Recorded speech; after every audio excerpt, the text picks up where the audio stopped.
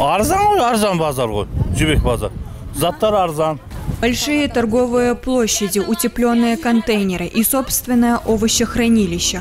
Вот далеко не весь перечень условий, которые предоставили на рынке Жибек-Жулы торговцам, потерявшим свои рабочие места на базаре Казбек.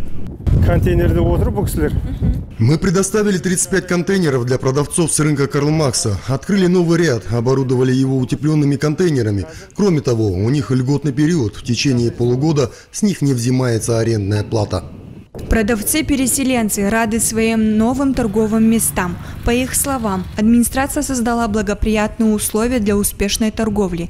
Они считают, что в выборе рынка не ошиблись, ведь помимо условий так важно человеческое отношение иә алты ай тегін тұрасыңдар деп жатыр шынымен утепелдетіп берді Нам выделили два утепленных контейнера. Потом посмотрите, как просторно. Покупатели прямо на машинах подъезжают.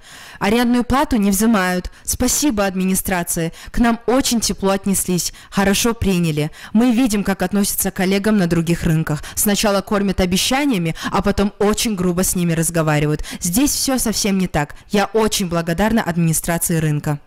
Уже летом рынок Жибек-Жола планирует принимать покупателей круглосуточно. Администрация рынка уже подготовила еще 500 торговых мест под сезонные овощи и фрукты. Сейчас на рынке работают около полутора тысяч человек. Тем не менее, администрация готова предоставить места для новых арендаторов. Салтанат Исаева, Талгат Абдинабеев, Султан Бахчанула. Информационная служба телекомпании «Утрар».